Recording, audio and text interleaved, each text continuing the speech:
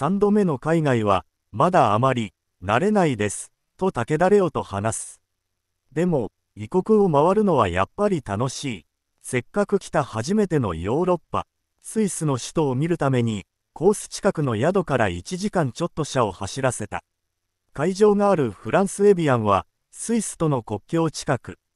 一緒に来ている両親と兄、キャディのゲイリー・ジョンストン氏たちと、ホテルにチェックインしてすぐスイスの首都ベルンまで行ってきた。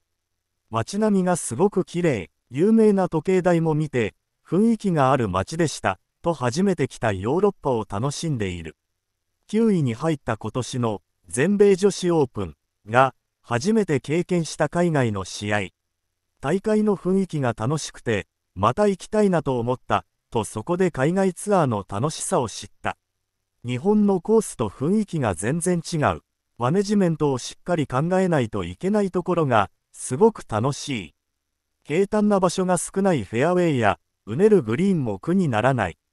日曜から27ホールを回って攻略法に考えを巡らせた。ここまで出場したメジャー2試合は、どちらも決勝ラウンドまで戦った。